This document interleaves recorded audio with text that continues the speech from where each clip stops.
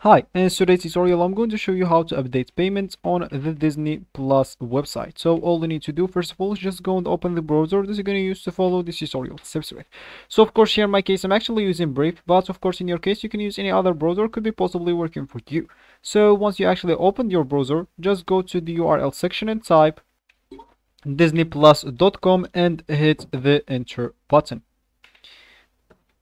that will certainly take you into this page unless you are not logged in into your account or you don't even have an account. Of course if that's the case you will find yourself at another page. From that page you will need to click at login at the top right corner to log in into your account or if you don't have an account you will need to go and create a sign up to create your account at the middle of the screen. And of course uh, both of them you'll need to provide them with your phone number but creating your account you'll need to add your email address.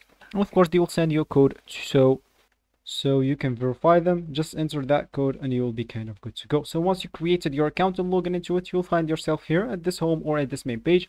And from here if you want to start watching of course you will need to subscribe to one of their plans. They have the monthly plan and the yearly plan. So of course once you do that you'll be able to watch all of these movies their series even their originals of course. And of course if you want to search for something you can just go here to the search bar at the, at the left option and just go here and search for whatever you want and hopefully you'll find it here. So of course uh, once you finish like uh, uh, logging into your account or anything and if you want to upgrade just go back to the home screen for me. I'm just going back. And as you can see at the top left corner we have an option here upgrade.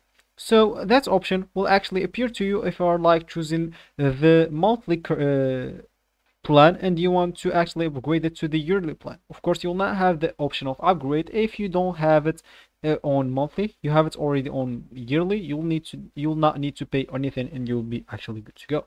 So once you click that you'll be able to upgrade by clicking upgrade now and you will be good to go. So that's actually for this tutorial. I hope you like it. Thank you guys for watching it goodbye